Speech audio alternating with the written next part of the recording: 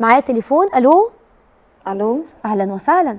إزيك يا أستاذة مروة؟ أهلا بيكي اتفضلي. أنا بحبك جدا. يا حبيبتي الله يجازيكي كل خير. أهلا وسهلا.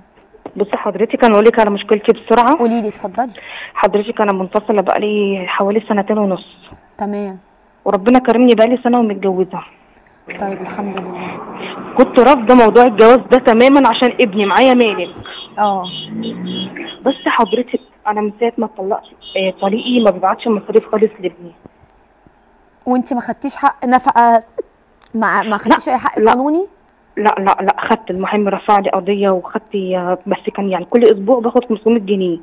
ليا أنا مم. ولما اتجوزت هو زعق واتصل ببابايا هدده في التليفون وقال له أنا كده مش هديها فلوس هي اتجوزت أنا طلبت له أنا أرجعها وحضرتك قلت له قلت لي أنا مش هد مش يعني مش هردها لك تاني مفيش مم. رجوع تاني امم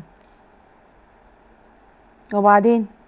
وبعدين قام بابا قال له آه مش هرجعها لك تاني أنت قليل ادب وإنسان مش كويس. العيشة معاك استحالة وبنتي خلاص وانت اتجوزتي. خلاص الموضوع انتهى. آه بس ابني أنا مش عارفة أصرف عليه خالص خالص. جوزك جوزك بيعامل ابنك إزاي؟ بصي أكيد طبعا مش زي ابنه. امم عياله بيجي عندي يعني كل شهر يومين في الشهر وبيمشوا. بعملهم أحسن معاملة بس هو بيعمل ابني كويس وكل حاجة بس أكيد مش هيحبه زي عياله. بس هو من أول ما أنتوا اتفقتوا هو عارف إن في مالك وراضي آه بمالك طبعاً. ومتقبل مالك ومفروض إن. الأمور كانت واضحة. أكيد طبعا. حصل حاجة دلوقتي حاجة غيرت الأمور؟ بصراحة لأ. يعني مش حاسة إنه متضرر بيقولك أبوه أولى بيه لا لا رجعيه هو مش بيقول لي كده كل شوية يقول لي وديه عند جدته وديه عند جده وديه عند تيتا. أقول له لا. مش هوديه ابني. لو مشي أنا همشي معاه ما أقدرش أستغنى عنه. لو. فرطت في ابني هفرط فيك. برافو عليكي برافو عليكي ده حتة مني ما أقدرش أستغنى عنه. امم يعني هو عايزك. توديه عند أمك أو أبوكي وما يبقاش موجود. أه فأنا قلت له لا مش هقدر أستغنى عنه. يقول لي خلاص أنا بهزر. لما لاني قلبت بقى واتعصبت عليه يقول لي لا أنا بهزر أنا بهزر. دلوقتي أنا مشكلتي يا حضرتك اللي أنا مش عارفة أصرف على ابني وأنا عارفة أدخله المدرسة وعنده ست سنين. امم أيوه طب أنا عايزة أفهم. حالته المادية على قده. ليه ليه ما ما, ما اثبتيش مرتب أبوه وخدتي فلوس منه؟ مامتي بتقولي عايزة أرفع لك قضية بس عايزة فلوس. أنا أجيب منين فلوس وأروح أرفع محامي؟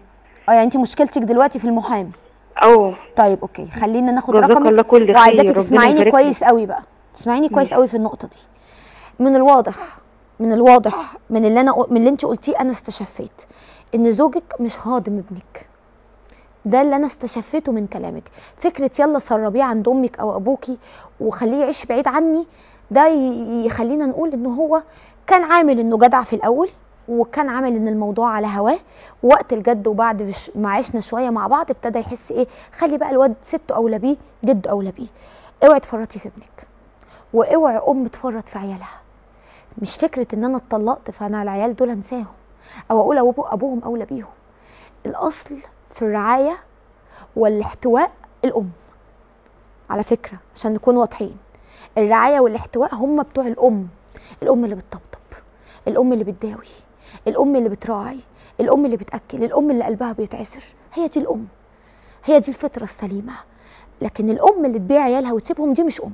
وفطرتها مش سليمة عندها مشكلة. لأن الأصل إن حتى لو انفصلت عيالي أخدهم في حضني أنط بيهم سبع حيطان زي القطة وما أسيبهمش.